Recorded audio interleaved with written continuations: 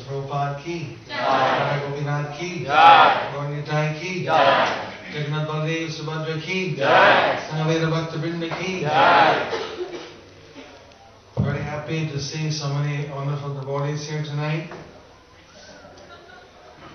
for this uh, this program of uh, Siksha, sometimes known as uh, Spiritual Achievers uh, Recognition. It's actually just to give blessings and encouragement to the devotees who are uh, taking more spiritual responsibility for their uh, for their uh, uh, spiritual life. The idea is that on one hand, uh, devotees on their own, they gradually take more and more enthusiasm, responsibility, enthusiasm, and as was mentioned by uh, temple president, that uh, going up, basically, there's certain steps in their spiritual life.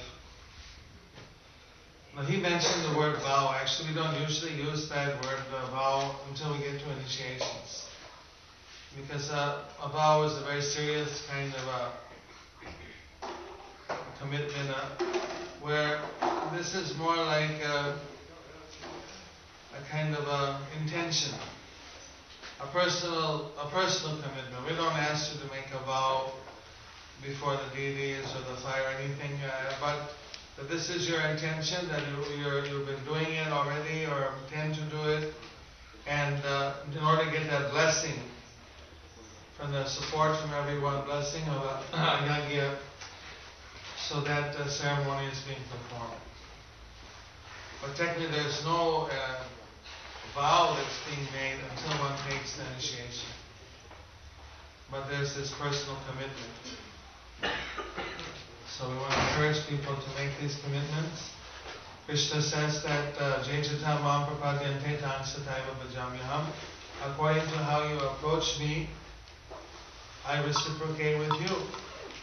If someone is more committed in their spiritual life, and Krishna is more committed to helping you.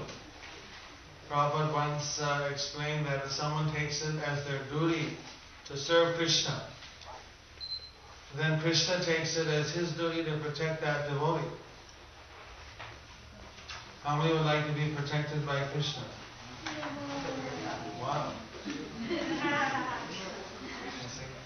Some people, they wonder why things happen to me, why God lets this happen, but we don't necessarily do anything for Him. We don't, we don't really offer any uh, spiritual offerings uh, uh, for Him. So then, if we don't take any special interest, in, uh, why should He take a special interest in us? Prahlad was thinking of Krishna day and night. He was thinking of Krishna 24 7. And so Krishna was uh, completely protecting him also, all the time, no matter what happened.